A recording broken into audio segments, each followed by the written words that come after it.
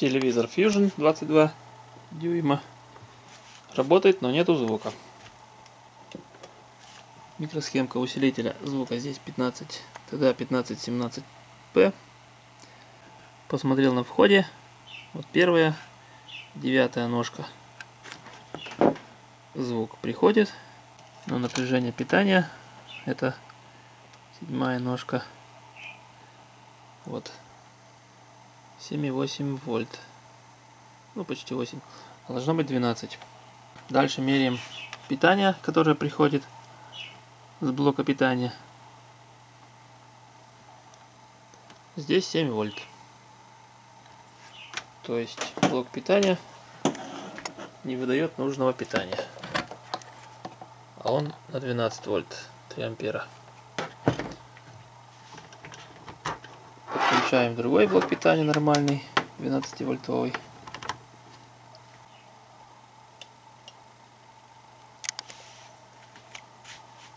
И звук появляется.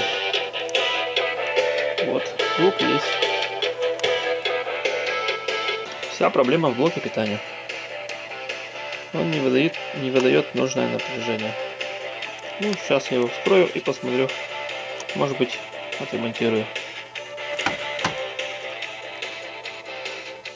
Плата, плата CV 182 LB.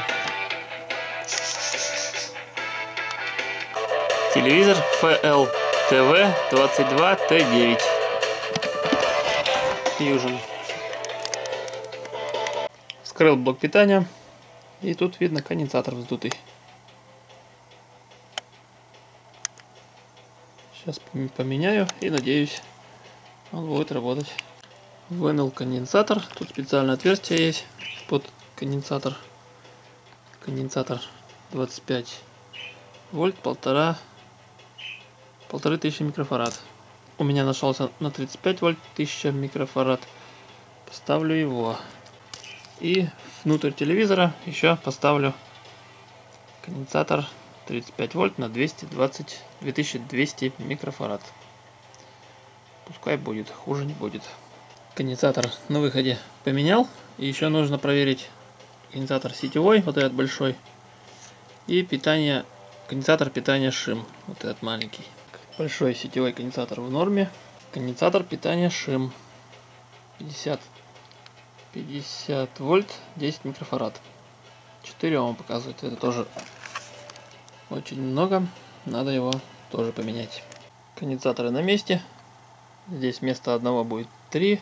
Нужного номинала я не нашел. Надо только зафиксировать их будет еще клеем, чтобы не болтались. Можно испытывать.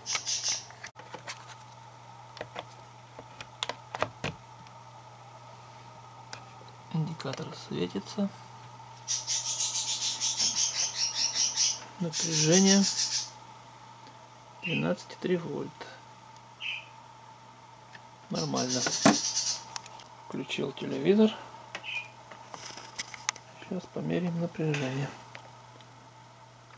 На входе 11,90. Нормально. На микросхеме 11,55.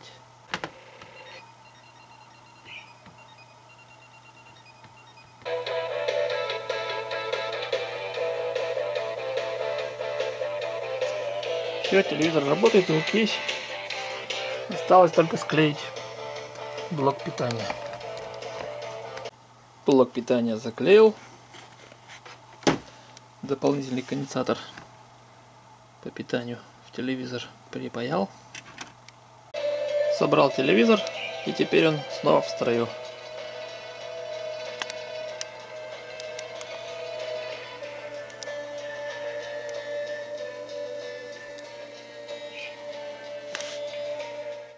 Ремонтирую лампочку настольную, такую вот светодиодную, раскладывающуюся. И в общем вот платка со светодиодами. И эта платка на коротком. То есть вот. И так, и сяк. То есть она полностью на коротком. Все светодиоды соединены параллельно. Сейчас будем искать, где короткая. Подам на платку 3 вольта. И буду увеличивать ток. Напряжение 3 вольта. В общем, подключаю плюс-минус. Подключил питание. Питание 3 вольта. Ток пока на минимуме стоит. Вот, сработала защита потока. Теперь буду поднимать ток. И посмотрим, что будет с платкой. Где короткая, по идее, должна быть там прогореть или что-нибудь случиться. Давайте посмотрим. Вот уже 400 миллиампер. Пока все холодное. 1 ампер.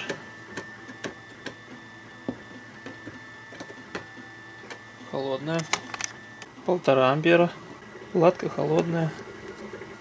2 ампера. Холодная. Нагрева нигде не чувствуется.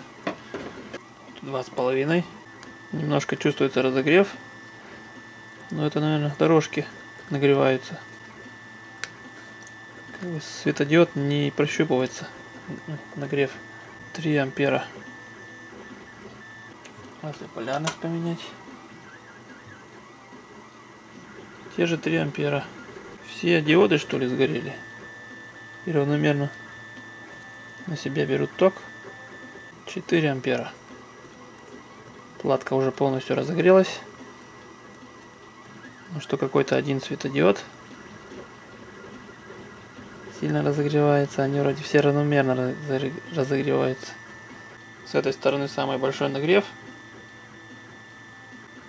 Тут вроде поменьше. А вот здесь больше всего. Ее уже держать тяжело. Так и непонятно, что с ней. Скорее всего, все светодиоды на коротком. Разрезал дорожки. Получились три отдельные цепочки. И, в общем, все три цепочки звонятся на коротком. Ну, скорее всего, Сейчас вот еще один светодиод отрежу.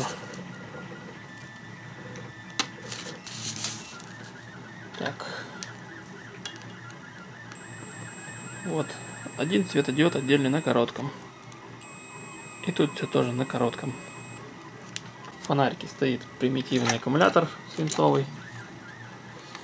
Когда я его открыл, тут был оторван провод от него. И получается, что импульсы, тут примитивный блок питания через конденсатор сделан. Импульсы высоковольтные, скорее всего, попали на светодиоды. И они все померли разом. То есть все закоротились. Но на вид они выглядят нормальные.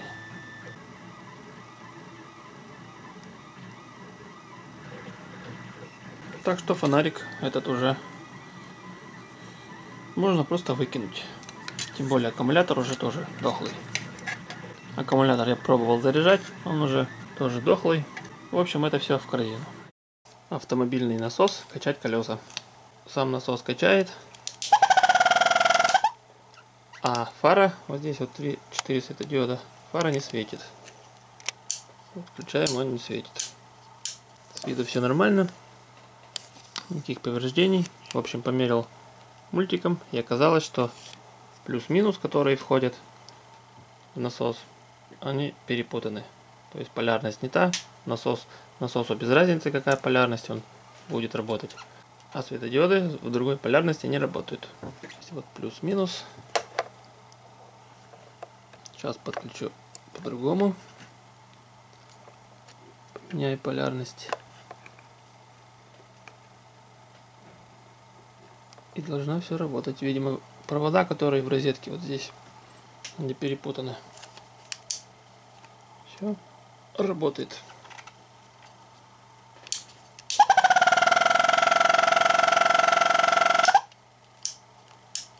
Надо разобрать розеточку и поменять провода местами. Плюс-минус 12 вольт. Розеточку провода перекинул. Теперь она правильно на боковые минус, а на центральный плюс.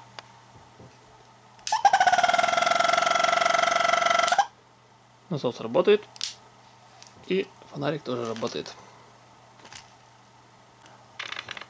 Еще прихватил провод на стяжечку вот сюда, чтобы он тут не болтался и не сломался.